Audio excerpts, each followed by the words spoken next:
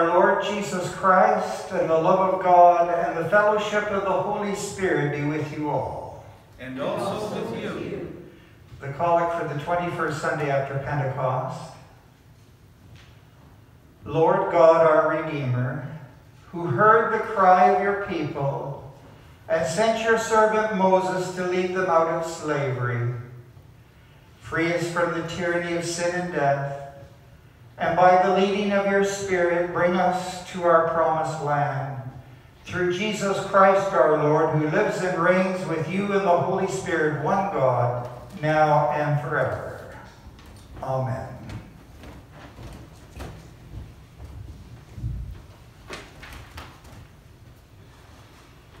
A reading from the first letter. Reading from the first letter to the Thessalonians, 1 Thessalonians 2, 1 to 8. You yourselves know, brothers and sisters, that our coming to you was not in vain. But though we had already suffered and been shamefully mistreated at Philippi, as you know, we had courage in our God to declare to you the gospel of God in spite of great opposition.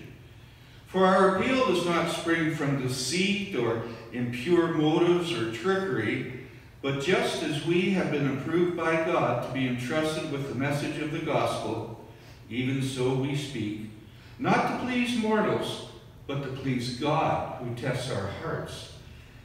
As you know, and as God is our witness, we never came with words of flattery or with a pretext for greed, nor did we seek praise from mortals, whether from you or from others, though we might have made demands as apostles of Christ.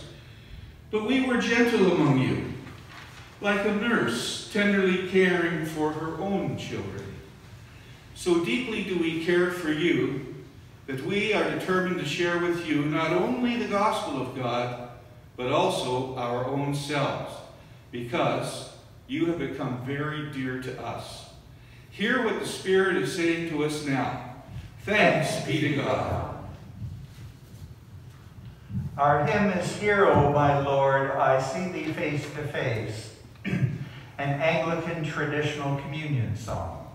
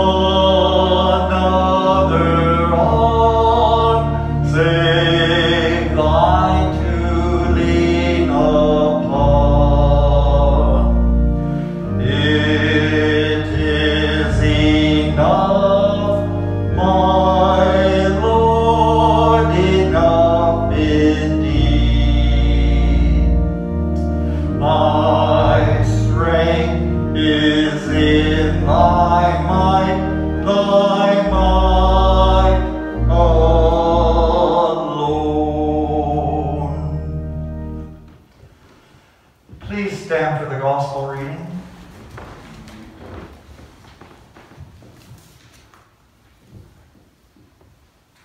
The Lord be with you.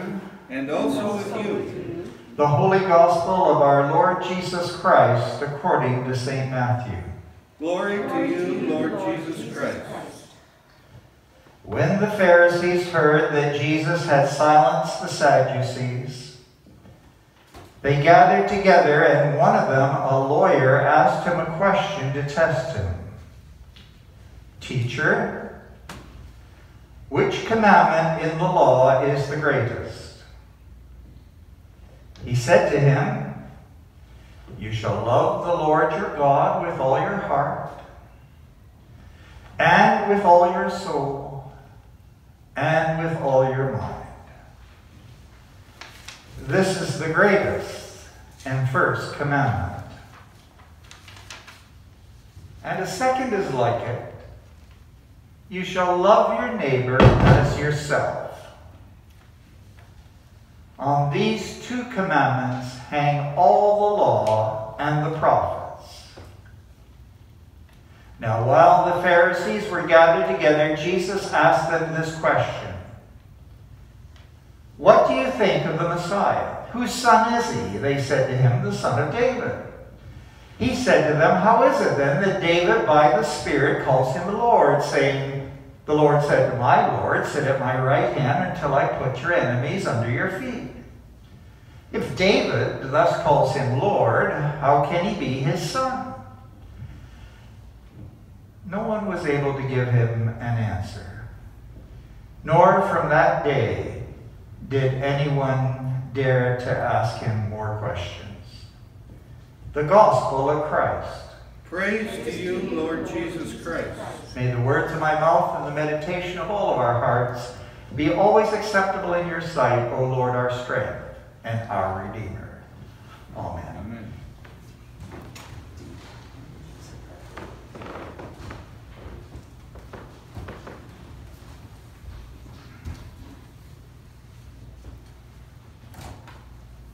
Max Lucado wrote a children's story animated by Liz Bonham about a lamb who was born that was different.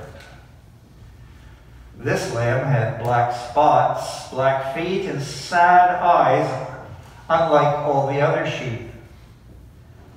This lamb also had a limp from an injured leg.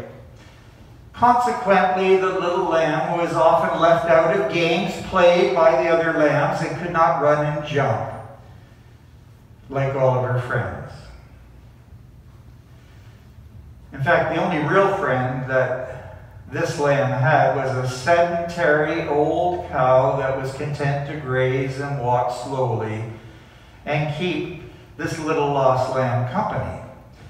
The lamb was also more vulnerable to predators and unable to flee quickly and unable to access the better grazing grounds that sometimes require travels to afar. When the other sheep would go on long journeys looking for better grass, this little lamb was left behind. Now, there were other comforts that compensated for these deprivations. The cow and the lamb spend quiet evenings together, gazing up at stars and the beauty and wonder of the night sky. When they were tired and hungry, the shepherds would often let them feed and sleep indoors in the comfy stable. And on one night on such occasion, when they shared the stable together, a visiting family, the mother of which gave birth to a newborn child. There seemed to be lots of festivities on this occasion. The shepherds were rejoicing and celebrating. They heard singing, and the stars seemed to shine all the brighter and give off a great light. It caused the little lamb to reflect upon his own birth and the meaning of his own life. He realized that while other, more able bodied lambs were able to set off on adventures of their own and other distractions, there was still joy and meaning in staying put, staying indoors, and staying home.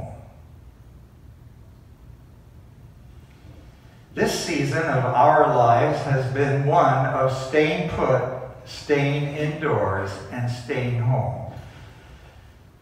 There are times when we are sorely in need of making huge adjustments to this new way of being and living. But that's not the only thing, is it? I mean, there are many other things in times in life that challenge us, where we realize that we are sorely in need of help in order to face life's challenges. But I am not sure very often that we ever do anything about it.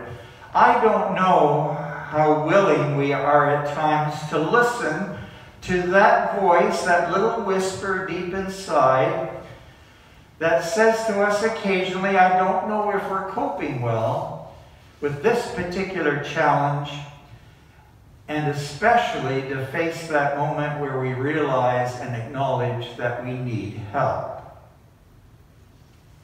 Do we have a friend like that little lost lamb and the mothering and nurturing cow, or the shepherds that allowed them to stay in the stable when they were hungry and tired, unlike the other sheep? Who do we turn to for assistance? In today's gospel reading, when asked what were the greatest commandments, Jesus answered simply and profoundly to love God and to love our neighbor. Now, this sounds wonderful. I mean, it's the sort of thing we would expect. It's the great summary of the law that we're all used to. Love God and love your neighbor. That kind of sums it all up. But as beautiful as this expression sounds, there are times, if we are honest and search deep within, that it simply serves to remind us of our failure to be able to achieve it. The truth is, is that it is often impossible to love neighbor and to be open to the help and assistance of God in the way that we would like. We don't always, do we, live up to our ideal selves and love God and neighbor the way that we would hope or the way we think probably that God and others expect of us. During this time of pandemic, our church has declared that keeping one another safe during this time is the greatest expression of loving neighbor that we can do. In reopening our church to public worship, as you can see and as you are experiencing, we are observing many protocols that really at the heart are designed to show our care for one another. But there are times when it feels both overwhelming and difficult to implement and follow these protocols in their entirety. None of us can do this alone or by ourselves. I, for example, as priest of the parish, have needed and continue to need your help. If we listen to that voice deep within us, we know that we continue to depend upon the friendship and fellowship of our faith community in order to be able to live through this difficult and other difficult and challenging times. But when we do, we know that we can comfortably worship together during a pandemic. If you look back to the first reading that you had before you that Bob read for us, we can see a good example of this kind of trust and dependence in the church of Thessalonica. as we can see from this letter, there's a positive expression of a community that prospers and flourishes and grows because they realize the mutual help and benefit that they enjoyed in each other, in spite of perhaps individual limitations and deprivations, like the little lamb. We can see from this letter that they were assisted and motivated by their faith in God. And it is said that their faith in God not only gave them a sense of approval of who they were, but it gave them courage and it gave them the gospel, the good news of Jesus Christ. And then there's a little sentence in there that you might almost miss on your own if you weren't following it closely. In spite of the positivity of this letter, there's just a little small acknowledgement and expression that even though there was at times great opposition, great opposition, they listened not to their fears, but to the encouraging Word of God. Consequently, this willingness to trust in each other and to trust in God and overcome the opposition and their fears enabled them to move beyond acts and preoccupations that were simply self serving and self preoccupied and self concerned. And then, in the most wonderful positive statement of the whole letter, it says, that it enabled them to enter into a relationship with each other of gentleness, care, nurture, and love for one another. It is apparent, therefore, from our own lives and from the testimony of Scripture and the good news of the gospel, which the thirst the church in Thessalonica depended on, that we cannot love neighbor on our own without God's help and our trust in one another. It is an impossible task for the individual to accomplish alone. But God gave us a remedy. It is called the church, the community of faithful people, which expresses this confidence in God and one another. The community of faith is not dependent upon its ability to travel far, or to always be able bodied, or to conform to one way of living or being. The community of faith prospers on its ability to listen to that screaming voice that we try to suppress deep within us that constantly reminds us we need help. And that we can find it in God and one another. Amen.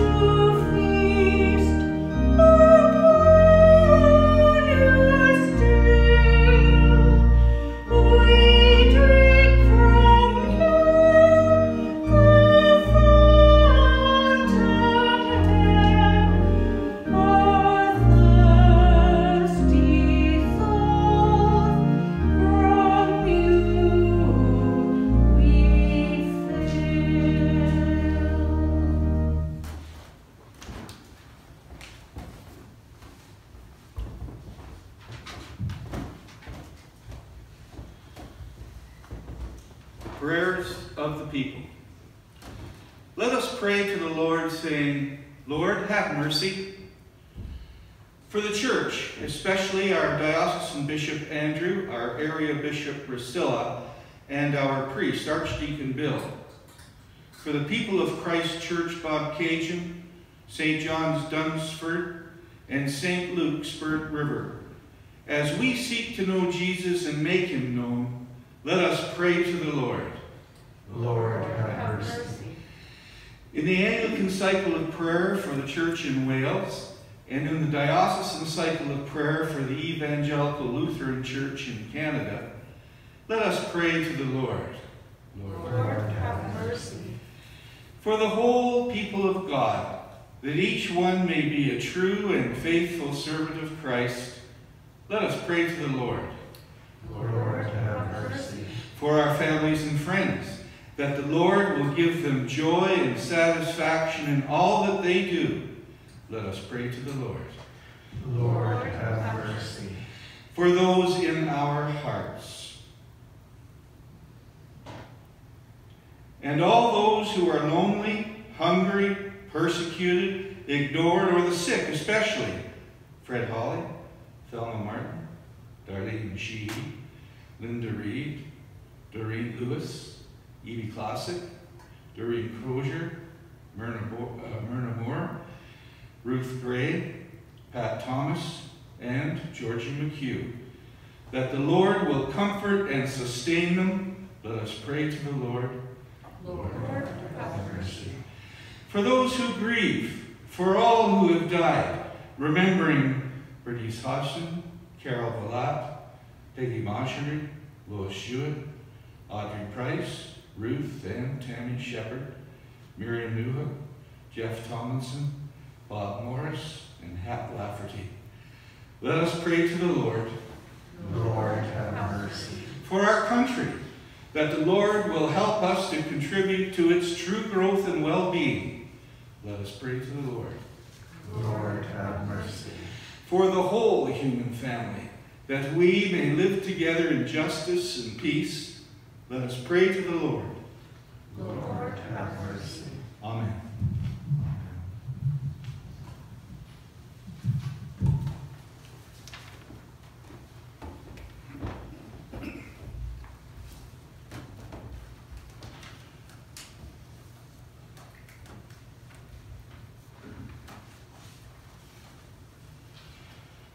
In our prayer over the gifts and the offering we receive, we give thanks for the gifts of bread and wine that are made with our hands from grain and grapes from nature, which God has blessed and given us and which now we return. We give thanks for those who have made an offering to support the financial work of the church and the expense of ministry. And we give thanks who have made an offering to those who give of themselves and service to the church. God of constant love, you have guided your people in all times and ages. May we who offer you our praise today always be deeply conscious to follow where you lead. And we ask this in the name of Jesus Christ, our Lord. Amen.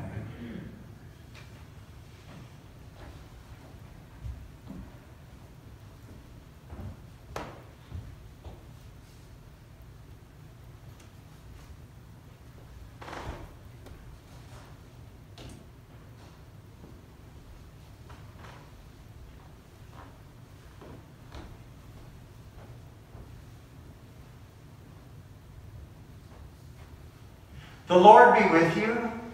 And also with you. Lift up your hearts. We lift them to the Lord. Let us give thanks to the Lord our God. It is right to give our thanks and praise. It is right to give you thanks and praise, O Lord our God, sustainer of the universe, you are worthy of glory and praise. Glory to you forever and ever. At your command, all things came to be, the vast expanse of interstellar space, galaxies, suns, the planets and their courses, and this fragile earth, our island home. By your will they were created and have their being. Glory to you forever and ever. From the primal elements, you brought forth the human race and blessed us with memory, reason, and skill.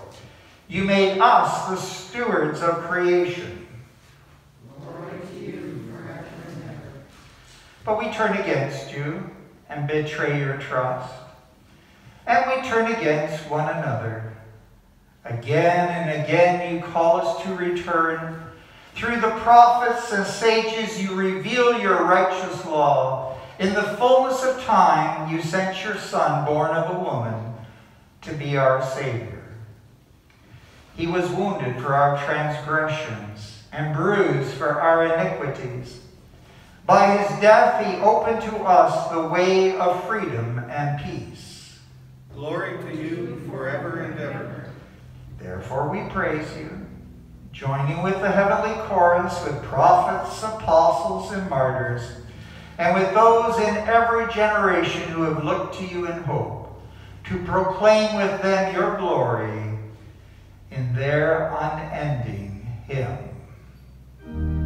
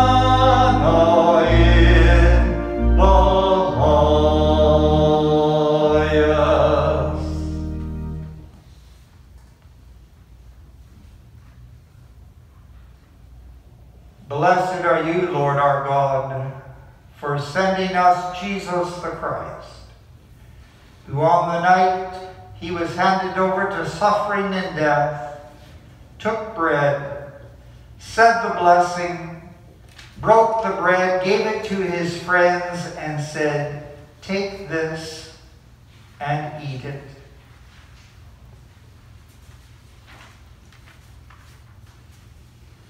This is my body, which is given for you. Do this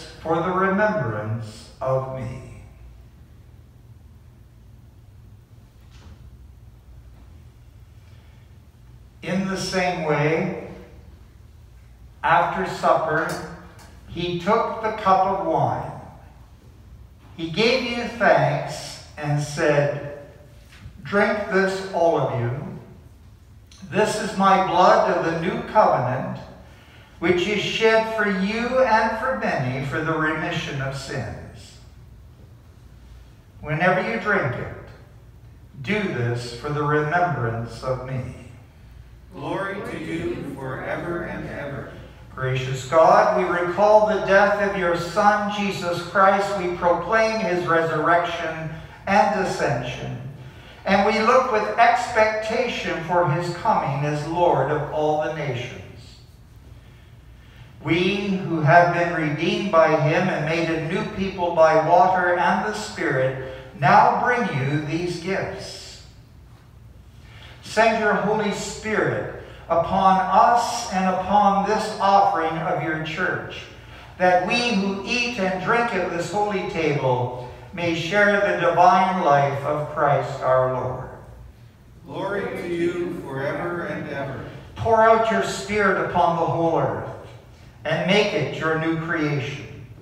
Gather your church together from the ends of the earth into your kingdom, where peace and justice are revealed, that we, with all your people of every language, race, and nation, may share the banquet you have promised.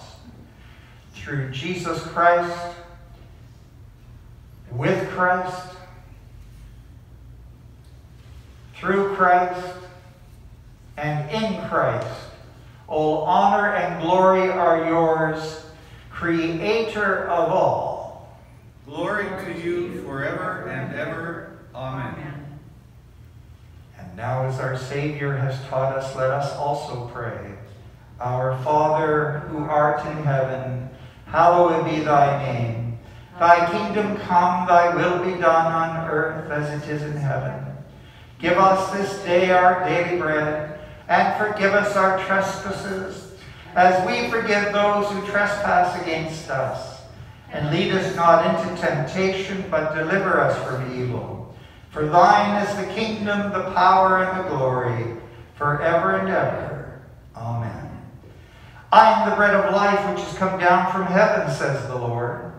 Give us this bread forever. I am the vine, you are the branches. May we dwell in him he lives in us. The gifts of God are for the people of God. Thanks be to God.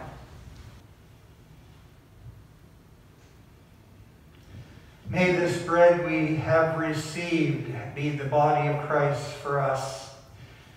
May this wine that we have shared spiritually be his blood. From his body and his blood, may we ever be nurtured, fed, and nourished. Let us pray. God, our guide, you have fed us with bread from heaven as you fed the people of Israel. May we who have been inwardly nourished be ready to follow you all our days. We ask this in the name of Jesus Christ, the Lord. Amen. Glory to God, whose power working in us can do infinitely more than we can ask or imagine. Glory to God from generation to generation, in the church and in Christ Jesus, forever and ever. Amen. And now may the peace of God, which passes all understanding, keep your hearts and minds in the knowledge and love of God, and of his Son, Jesus Christ, our Lord. And the blessing of God Almighty, the Father, the Son, and the Holy Spirit be amongst you and remain with those whom you love, this day and forevermore. Amen. Go forth in the name of Christ. Thanks be to God.